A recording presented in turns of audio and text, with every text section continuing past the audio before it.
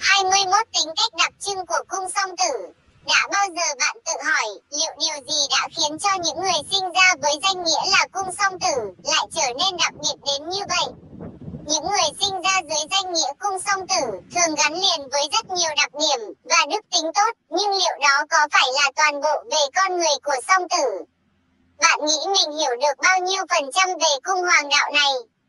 Bạn nghĩ bạn sẽ đoán được hết tính cách của song tử ở lần gặp đầu tiên? Đó là lý do vì sao ngày hôm nay mật ngữ 12 chòm sao lựa chọn công bố cho bạn về 21 đặc điểm nổi bật nhất xung quanh tính cách của song tử. Những tính cách độc đáo mà bạn chưa từng một lần nghĩ tới, nó sẽ là đặc trưng của song tử. 1. Song tử luôn cố gắng tránh xung đột và sẽ rời đi trước khi mọi thứ trở nên tồi tệ hơn. Song tử luôn cố gắng để tránh xa những cuộc cãi vã, mâu thuẫn hay xung đột đầy vô nghĩa và cách đơn giản nhất là lờ đi hoặc cố gắng tránh thật xa. Họ biết mình còn có rất nhiều thứ phải tập trung vào, cuộc sống còn có rất nhiều thứ cần họ nghĩ đến, thay vì mải mê với những tranh cãi, lựa chọn thông minh nhất chính là gạt phăng nó ra khỏi trí não mình. 2. Đừng cố gắng gây chiến với song tử, họ sẽ không ngại trả đũa lại bạn. Song tử luôn cố gắng cư xử và chung sống hòa bình với tất cả mọi người, nhưng nếu như bạn cứ cố gắng làm khó họ, họ sẽ không ngại trả đũa lại bạn và đưa bạn vào đúng tình thế khó khăn mà bạn đang cố ép song tử phải chống đỡ. Họ không ngại tranh đấu để bảo vệ bản thân và khi họ tức giận, nó không đơn giản như cách mà bạn có thể tưởng tượng. 3. Song tử là một người bạn trung thành, một tri kỷ, một đối tác tuyệt vời và là một người bạn đời tuyệt vời nhất. Cho dù là mối quan hệ nào, bạn bè, gia đình hay người yêu, song tử đều là lựa chọn tuyệt vời nhất bởi sự trung thành nghiêm túc và chín chắn của họ. Họ có thể yêu cầu rất cao trong việc lựa chọn người bạn sẽ cùng mình đi đến hết đời, nhưng khi bạn có song tử, nghĩa là bạn đã có một mối tin tưởng trọn vẹn nhất trên cuộc đời này. 4. Song tử liên tục có những suy nghĩ và ý tưởng mới, Tâm trí của song tử luôn không ngừng vận động, và họ có thể có thời gian để suy nghĩ về rất nhiều thứ về những ý tưởng mới, câu hỏi mới. Họ tò mò về những thứ vừa diễn ra đang chuyển động không ngừng xung quanh cuộc sống của mình. Họ khó có thể tập trung vào một việc gì đó quá lâu bởi vì niềm đam mê và sự thích thú của song tử thực sự rất đa dạng. 5. Song tử độc lập và rất khó để có thể kiểm soát họ song tử sống bằng một cuộc đời độc lập và tự do, họ thích bản thân đi trên một con đường riêng của chính mình, hơn là cứ mãi sống bằng một cuộc đời tương tự như bao người khác. Họ cần sự tự do để cuộc sống được phát triển theo những hướng riêng mà người khác không bao giờ có thể sao chép hay kiểm soát được. Đừng cố gắng để quản lý cuộc đời của song tử, càng làm thế chỉ khiến cho khoảng cách của bạn và song tử mỗi lúc một xa hơn. 6. Song tử có khả năng quan sát và nhận định rất sâu sắc. Song tử là những kẻ tò mò, họ luôn không ngừng đưa mắt đi khắp các mọi ngõ ngách để có thể dễ dàng tiếp thu những kiến thức mới, những thông tin lý thú. Họ là những người sinh ra với bản năng nhận định và đánh giá. Đối với bất cứ chuyện gì song tử luôn cố gắng để đào sâu đến gốc rễ của vấn đề. 7. Song tử và những lời tán tỉnh đầy mật ngọt. Thói quen của song tử là không bao giờ làm gì đó một cách nửa vời, yêu đương cũng thế họ luôn cố gắng để tán tỉnh người khác bằng những lời mật ngọt của mình. Song tử là những kẻ tán tỉnh khôn ngoan, họ dùng lời nói của mình để tạo ra mật ngọt một cách tự nhiên nhất. 8. Song tử không thích những người xem nhẹ mọi thứ quan trọng và ghét sự than phiền. Song tử không có nhiều thời gian để kết nối, giải thích cho những người luôn cố gắng để tìm ra sự bất mãn về mọi thứ trong cuộc đời mình.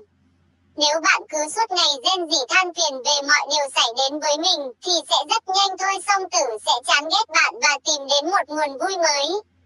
9.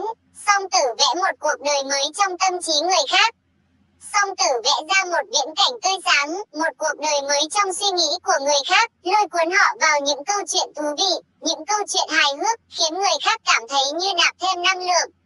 Họ thích thú khi tìm được ai đó hòa hợp với mình cả về tinh thần lẫn ý nghĩ. 10. Song tử không ngại nói cho bạn biết chính xác những gì họ nghĩ. Song tử có rất nhiều những ý nghĩ táo bạo, và tốt hơn hết là bạn hãy để họ vui vẻ chia sẻ nó đến với mọi người. Họ luôn trình bày một cách chính xác, rõ ràng nhất những điều mà họ nghĩ, những thứ xuất hiện trong tâm trí của họ, mà không một chút giấu giếm nào ngay cả khi nó là những suy nghĩ tiêu cực. 11. Song tử một người bạn luôn ở bên khích lệ và động viên bạn. Khi bạn bè hay người thân của song tử gặp khó khăn, bản năng của song tử khiến họ luôn tìm cách ở bên bạn để chia sẻ, lắng nghe cho đến khi họ đảm bảo cuộc sống của bạn đã ổn định hơn. Họ biết chính xác những gì mình cần nói để ai đó cảm thấy tốt hơn, và họ cũng cố gắng để đưa ra những lời khuyên bổ ích nhất. 12. Song tử đôi khi sẽ có những hành động kỳ lạ, Song tử sống một cuộc đời chứa đựng đầy bất ngờ, họ giống như một kẻ lập dị với những hành động mà thật chẳng dễ dàng để bạn có thể cảm nhận được hết. Họ đôi lúc sẽ khiến bạn bối rối, và không biết tiếp theo họ sẽ làm gì. Họ không phải là kẻ thường xuyên có những hành động ngốc nghếch và trẻ con, nhưng họ cũng không phải là kiểu người thích một cuộc sống nhàn hạ. Họ liên tục làm dối mọi thứ trong cuộc đời mình lên để khiến nó không bị nhàm chán. 13 song tử biết phải làm thế nào để có thể trò chuyện một cách trôi chảy nhất về mọi vấn đề trong cuộc sống với người đối diện. Khả năng thuyết phục và độ tin tưởng của song tử sẽ khiến bạn phải bất ngờ.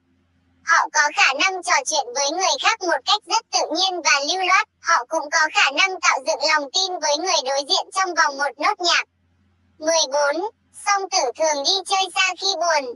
Song tử không thích ở một nơi nào đó quá lâu, làm một điều gì đó quá lâu. Họ luôn luôn có xu hướng di chuyển để thực hiện nhiệm vụ hay sứ mệnh khác.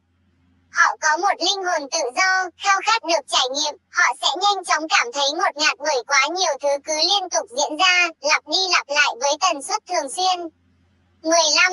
Song tử có bản tính tò mò, luôn cố gắng làm tốt mọi thứ để có thể lĩnh hội được kiến thức. Song tử là đại diện cho những người có bản tính tò mò, họ luôn không ngừng thắc mắc về mọi thứ diễn ra xung quanh mình. Họ có xu hướng liên tục yêu cầu giải đáp để lĩnh hội những kiến thức mới và luôn cố gắng để khám phá những điều làm họ thích thú. 16. Cảm xúc của song tử rất nhạy cảm. Song tử rất dễ bị chi phối về mặt cảm xúc, cho dù đó là cảm xúc tích cực hay tiêu cực. Đôi khi sự nhạy cảm sẽ làm bạn trở nên tinh tế hơn, nhưng nó cũng như một con dao hai lưỡi ảnh hưởng nghiêm trọng đến tinh thần và làm bạn bị kiệt sức. 17. Song tử rất kỹ lưỡng trong việc kết nối những người xung quanh. Song tử vốn dĩ là người rất thích kết bạn, nhưng nếu bạn cố gắng tìm cách để đào sâu vào đời tư cá nhân của song tử, họ sẽ nhanh chóng tạo dựng một bức tường và loại bỏ những chủ đề có thể ảnh hưởng đến thế giới riêng của họ. Chỉ có những người đủ tin tưởng mới khiến song tử an tâm nói về điều đó.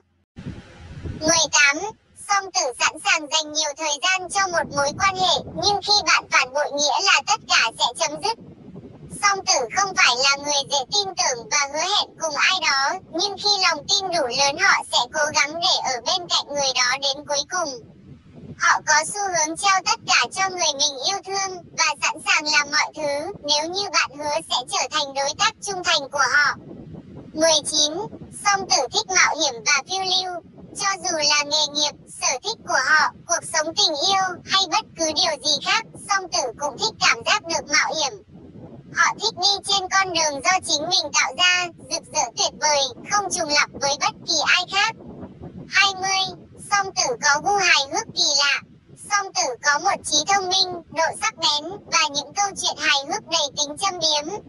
Những câu chuyện hài của họ luôn có chiều sâu và buộc người khác phải vận động trí não mới có thể cảm thấy vui nhộn.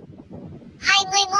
Khả năng thích nghi của song tử rất cao và họ có thể dễ dàng sống cùng những căng thẳng. Song tử cực kỳ linh hoạt trong việc thích nghi với những con người mới và môi trường mới. Họ có thể dễ dàng điều chỉnh môi trường xung quanh mình để hòa hợp với người khác một cách nhanh nhất. Khi ai đó cố tình làm rối tung cuộc sống của họ, song tử cũng không ngần ngại đáp trả.